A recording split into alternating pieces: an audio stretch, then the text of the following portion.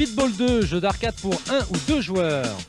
Cette seconde version du Speedball risque d'être l'un des hits des ventes de Noël. Pour situer le logiciel, il suffit de dire que la violence est le seul point commun avec la précédente version, sinon tout est mieux. Meilleur graphisme, aire de jeu plus grande, animation encore plus soignée, il faut dire que les programmeurs ne sont autres que les Bitmap Brothers, l'une des meilleures équipes mondiales. En bref, une réussite exemplaire.